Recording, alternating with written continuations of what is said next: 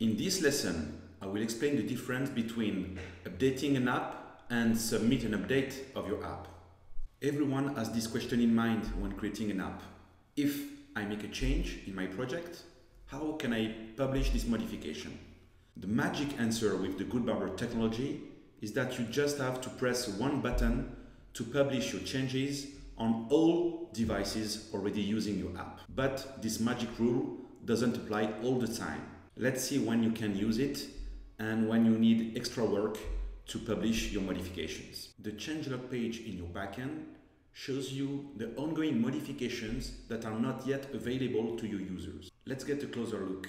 Each modification marked with the green phone can be published right away to your users. Each modification marked with the black cloud will require rebuild of your app and the submission of an update of a new binary file to the stores. Let's update the pending modifications that can be pushed right away. To do so, I go to the Update Now tab and I click the Update button. Voila! I have updated my app. Next time my users will launch my app, they will see something new, something different. It can be a new design, a new section, and many other things. 90% of the times you are going to update your app, you will click this single button. Let's talk about the 10% remaining cases now. Every day, our engineers forge the Goodbarber engines.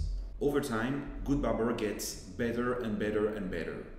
And each time they release a new improvement on the engine, whether it is iOS and Android, there is a revision number associated to this release. Each time you go to the submission menu and you click the build my application button, you are going to build your app with the last available release of the iOS or the Android engine. Let's take a very simple example. I have an iOS app that I built today with revision 4338. This app can work with only one feature, feature A. Then the product evolves and a feature B is released. But this feature B can work only with apps that have the revision number 4456. So if I want to be able to use feature B in my app, I will have to rebuild it so that it can work with this new feature. This new feature, feature B, is available in my backend. I can add it to my project.